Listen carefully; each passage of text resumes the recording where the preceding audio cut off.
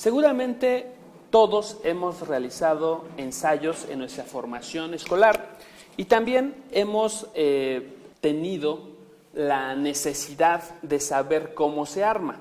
Un ensayo presenta elementos claramente definibles.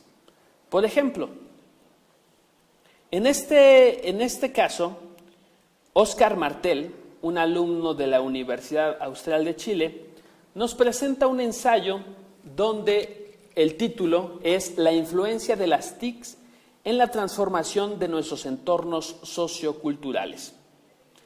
Posteriormente, continúa con el planteamiento de una introducción que, como todos sabemos, generalmente se construye, se escribe, se redacta al terminar el ensayo, pues en esta parte se va a plantear todo lo que el autor va a desarrollar como tema central propuesto en, esta, en, este ensayo.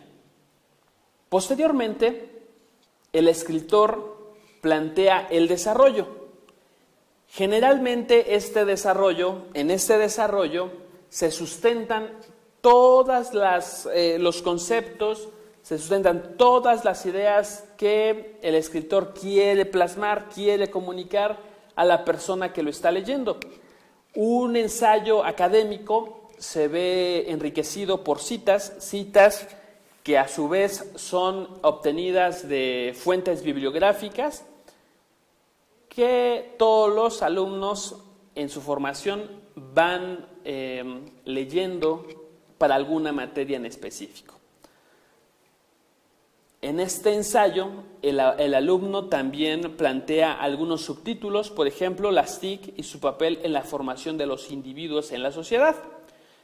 Y también va delimitando ideas que van sustentando lo que el desarrollo ha planteado. Seguimos con otro subtítulo que quiere decir que aquí lo plantea como la sociedad de la información otro subtítulo, las TIC y su influencia en la educación.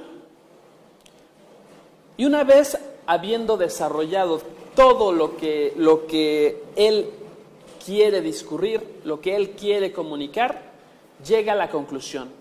¿A qué ha llegado con toda esta construcción de conocimiento que él ha, ha planteado a lo largo de su trabajo?